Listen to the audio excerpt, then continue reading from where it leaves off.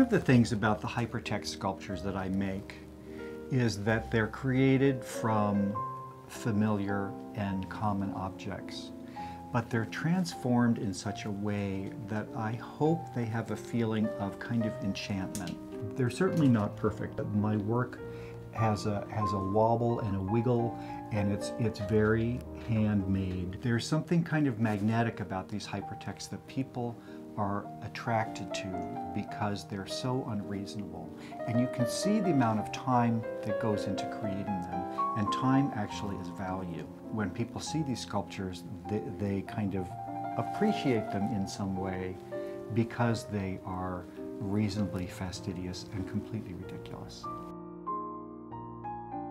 My name is Stephen Doyle, and I'm designing the Spring 2017 SVA subway posters.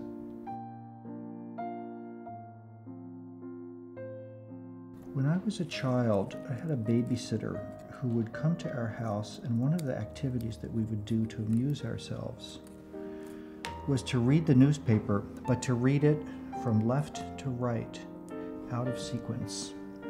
And I had no idea that that Dada thinking at the time would come back and influence me years later with the creation of hypertexts where language bleeds into other language without logical sequence. I thought long and hard about what kind of message I wanted to convey because this was a real opportunity to get some ideas out there in the public. And I realized I wanted to illustrate the idea of uh, art defying gravity, art defying logic, and art defying expectations. The cool thing about designing a poster for the New York City subway system is I think that the poster has to work when you're standing on the other platform looking across the tracks. There's got to be some kind of magnetism there uh, to make that work. What I'm excited about this series of posters is they were designed to talk to each other. One has the image at the bottom, one has the image in the center, and the other image tends to float to the top. So they were designed as a, as a kind of a triptych.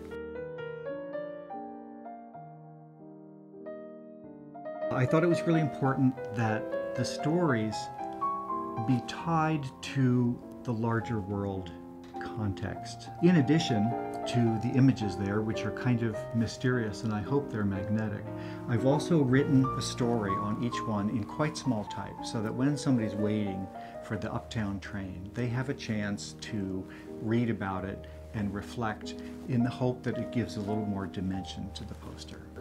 But what I think is really cool uh, is that the lady that does the cleaning here is going to see the posters on her way into work, and the guy that cuts my hair, uh, and my sister-in-law. I'm trying to instill a little bit of enchantment in these posters for people who might not have given art or SVA a second thought.